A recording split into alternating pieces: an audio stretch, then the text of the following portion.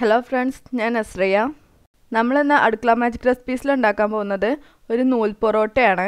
ഈ നൂൽ പൊറോട്ടയിൽ കറി അങ്ങ് ഒഴിച്ചാൽ മതി. ശരിക്കും അതൊരു നൂൽ പോലെ തന്നെ അങ്ങ് നീണ്ടു വരും. ഈ നൂഡിൽസ് പോലെയൊക്കെ ഇരിക്കും. കുട്ടികളൊക്കെ വീട്ടിലുണ്ടെങ്കിൽ അവർക്കൊക്കെ തീർച്ചയായിട്ടും ഇഷ്ടപ്പെടും. കാണാനും കഴിക്കാനൊക്കെ.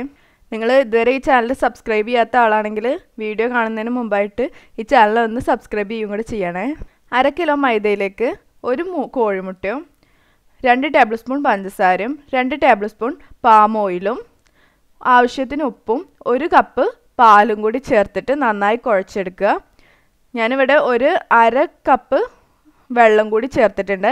വെള്ളത്തിന്റെ കളവ് നമ്മൾ നോക്കിയിട്ട് അഡ്ജസ്റ്റ് ചെയ്യണം. ചിലപ്പോൾ കൂടുതൽ വേണ്ടി വരും ചിലപ്പോൾ കുറവ് വേണ്ടി വരും. അപ്പോൾ കുറേശ്ശെ കുറേശ്ശെ നോക്കിയിട്ട് അഡ്ജസ്റ്റ് ചെയ്യുക ചപ്പാത്തിപ്പൊടി കുഴക്കുന്നതിനേക്കാളും ഒരല്പം കൂടി ലൂസിലായിട്ടാണ് നമ്മൾ പൊറോട്ടയ്ക്ക് കുഴക്കുക. ഒരുപാട് അങ്ങ് ലൂസായി പോകണ്ട ചപ്പാത്തിപ്പൊടിനേക്കാളും കുറച്ചും കൂടി ലൂസ് വേണം. എല്ലാം കൂടി ഒരു മാവിന്റെ പരുവത്തിലായി കഴിഞ്ഞാൽ നമുക്ക് കൈമൽ കുറച്ച് പൊടിയാക്കി കഴിഞ്ഞാൽ കുഴച്ചെടുക്കാൻ കുറച്ചുകൂടി സൗകര്യമായിരിക്കും.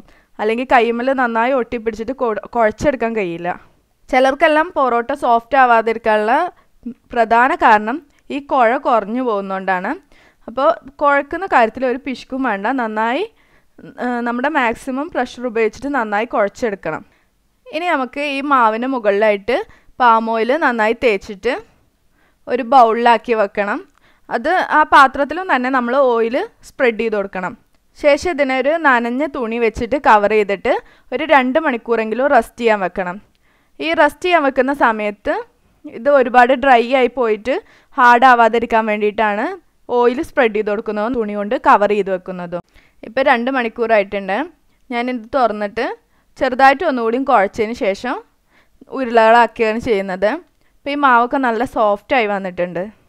ഉരുളകളാക്കുന്ന സമയത്ത് ഈ രീതിയിൽ ഉള്ളിലേട്ട് തിരികെ കൊടുത്തിട്ടാണ് ഉരുളകളാക്കുന്നത്. അതിന്റെ മുകളിൽ നല്ലപോലെ പാം ഓയിൽ സ്പ്രെഡ് ചെയ്ത് കൊടുക്കണം. ഓയിൽ തേക്കുന്നതിന് ഒരു പിശുക്കും കാണിക്കാൻ പറ്റില്ല. പൊറോട്ട ഒന്നും നമ്മൾ എപ്പോഴും ഉണ്ടാക്കില്ലല്ലോ.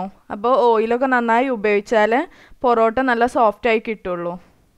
ഇനി കൗണ്ടർ ടോപ്പുമ്മലും അതുപോലെ തന്നെ നമ്മൾ ചപ്പാത്തി പരത്തുന്ന റോളർമലും നന്നായി പാം ഓയിലാക്കി കൊടുക്കുക അതിനുശേഷം ഇത് വളരെ കട്ടി കുറച്ചിട്ട് നമ്മുടെ കൗണ്ടർ ടോപ്പിന്റെ കളറ് മോൾ ഭാഗത്ത് കാണുന്ന രീതിയിൽ വളരെ കട്ടി കുറച്ചിട്ട് വലുതാക്കി പരത്തിയെടുക്കണം. അതിനുശേഷം ഒരു കത്തി വെച്ചിട്ട് നീളത്തിൽ ഇതുപോലെ നൂൽ പോലെ കട്ട് ചെയ്തെടുക്കുക. വളരെ അടുത്തടുത്തായിട്ട് കട്ട് ചെയ്യാൻ ശ്രമിക്കണം. ഇനി അതിന്റെ മുകളിലായിട്ട് നന്നായി പാം ഓയിൽ സ്പ്രെഡ് ചെയ്ത് കൊടുക്കുക.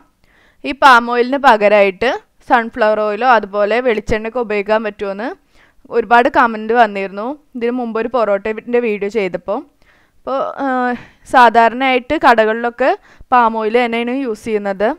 ഇനി വേറെ ഏതെങ്കിലും ഓയിൽ ഉപയോഗിക്കാൻ പറ്റുമെന്ന് എനിക്കറിയില്ല. ഇനി അതിന് മുകളിലായിട്ട് മൈദപ്പൊടി ഒന്ന് വെതറി കൊടുക്കുക ഇനി രണ്ട് കൈയും വെച്ചിട്ട് ഈ ലെയറൊക്കെ ഒന്ന് അടുപ്പിച്ചെടുക്കുക. ഈ അടിഭാഗത്ത് കൗണ്ടർ ടോപ്പുമ്മൽ നമ്മൾ നന്നായി ഓയിൽ സ്പ്രെഡ് ചെയ്ത് കൊടുത്താലേ നമുക്കിതുപോലെ പെട്ടെന്ന് ഇങ്ങനെ അടുപ്പിച്ചെടുക്കാൻ കിട്ടുള്ളൂ. അല്ലെങ്കിൽ നല്ല ബുദ്ധിമുട്ടായിരിക്കും.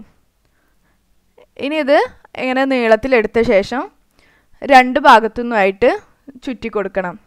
ആദ്യം ഒരു ഭാഗത്തു നിന്ന് ചുറ്റി കൊടുക്കുക. പിന്നെ മറ്റേ ഭാഗത്തു നിന്നും കൂടിയും ചുറ്റി കൊടുത്തിട്ട് ഒന്ന് ഒന്നിന്റെ മുകളിലായിട്ട് വെച്ചിട്ട് കൈ വെച്ചിട്ട് ജസ്റ്റ് ഒന്ന് പ്രസ് ചെയ്ത് കൊടുക്കുക. ചെറുതായിട്ട്. എന്നിട്ട് അതിന്റെ മുകളിൽ നന്നായി ഓയിൽ സ്പ്രെഡ് ചെയ്തിട്ട് മാറ്റി വെക്കാം. ഈ രീതിയിൽ എല്ലാ പൊറോട്ടയും ചെയ്തെടുക്കുക. എല്ലാ പൊറോട്ടയും ചുറ്റിച്ച് കഴിഞ്ഞാൽ ഇതിന്ന് ഓരോന്നായിട്ട് എടുത്തിട്ട് ഇതുപോലെ കൈ വെച്ചിട്ട് ജസ്റ്റ് ഒന്ന് പ്രസ് ചെയ്ത് കൊടുക്കുക. ഒരുപാട് കട്ടി കുറച്ചിട്ട് ചെയ്യണ്ട. അപ്പോൾ നമുക്ക് ലെയർ അത്ര നന്നായിട്ട് കിട്ടില്ല. നല്ല ചൂടായ കല്ലുമ്മൽ വെച്ചിട്ട് ചുട്ടെടുക്കുക. ഒരു ഭാഗത്ത് എണ്ണ ഒഴിച്ചിട്ട് ഒന്ന് ജസ്റ്റ് ഒന്ന് തിരിച്ചിട്ട് കൊടുക്കുക. അതുപോലെ തിരിച്ചും മറിച്ചിട്ടിട്ട് ഒരു മീഡിയം ഫ്ലെയിമിലിട്ടിട്ട് കുക്ക് ചെയ്തെടുക്കുക. ഒരു ഭാഗം കൂടി ചെറുതായിട്ട് വേവാനുണ്ട്. അതും കൂടി വെന്ത് കഴിഞ്ഞാൽ നമുക്കിത് കല്ലുമെന്ന് എടുക്കാം ചെറിയ പൊറോട്ട ആയതുകൊണ്ട് മൂന്ന് പൊറോട്ടയൊക്കെ നമുക്ക് ഒരു കല്ലുമെന്ന് ഉണ്ടാക്കിയെടുക്കാൻ പറ്റുന്നുണ്ട്. തിക്നെസ് ഉണ്ട് അത്യാവശ്യം കഴിക്കുമ്പോൾ നല്ല വലുപ്പത്തിലുണ്ട്. പക്ഷേ കാണാനേ ചെറുതുള്ളൂ. ഇനി ഇത് കൗണ്ടർ ടോപ്പുമ്മൽ വെച്ചിട്ട് കൈ വെച്ചിട്ട് തന്നെ നന്നായി ചൂടോടെ ഇത് അടിച്ചു കൊടുക്കണം. അത്യാവശ്യം നല്ല ചൂടുണ്ട് കൈ ചൂടാവുന്നുണ്ട്. പക്ഷേ ഇത് ചൂടോടെ ഇതുപോലെ അടിച്ചു കൊടുത്താലേ ലെയറൊക്കെ പെട്ടെന്ന് വിട്ടു വരുള്ളൂ. അതുപോലെ തന്നെ പൊറോട്ട സോഫ്റ്റ് ആയി ഇരിക്കുകയും ചെയ്യുള്ളൂ. ഇപ്പോൾ കണ്ടില്ലേ ജസ്റ്റ് ഒന്ന് അടിച്ചപ്പോഴേക്കും തന്നെ ലെയറൊക്കെ നന്നായി വന്നിട്ടുണ്ട്. ഇനി കഴിക്കുമ്പോഴും ഇതുപോലെ തന്നെയാണ്. കറിയൊക്കെ ഒഴിച്ചു കഴിഞ്ഞാൽ നൂൽ പോലെ എല്ലാം വേറെ വേറെ നിൽക്കും. അതുപോലെ ചൂടോടെ കഴിക്കാൻ നല്ല ടേസ്റ്റുമാണ് നിങ്ങൾക്ക് വീഡിയോ ഇഷ്ടമായിട്ടുണ്ടെങ്കിൽ ലൈക്ക് ചെയ്യുക അതുപോലെ നിങ്ങളുടെ ഫ്രണ്ട്സിനും ഫാമിലിക്കൊക്കെ ഷെയർ ചെയ്ത് കൊടുക്കുക. ഇതുവരെ ഈ ചാനൽ സബ്സ്ക്രൈബ് ചെയ്തിട്ടില്ലെങ്കിൽ ഒന്ന് സബ്സ്ക്രൈബ് ചെയ്യും കൂടി ചെയ്യണേ. സംശയങ്ങൾ എന്തെങ്കിലും ഉണ്ടെങ്കിൽ കമന്റ് ബോക്സിൽ ചോദിച്ചാൽ മതി. എനിക്ക് അറിയുന്ന കാര്യങ്ങൾക്കെല്ലാം ഞാൻ റിപ്ലൈ തരും. നമുക്ക് മറ്റൊരു വീഡിയോ ആയിട്ട് വീണ്ടും കാണാം. താങ്ക്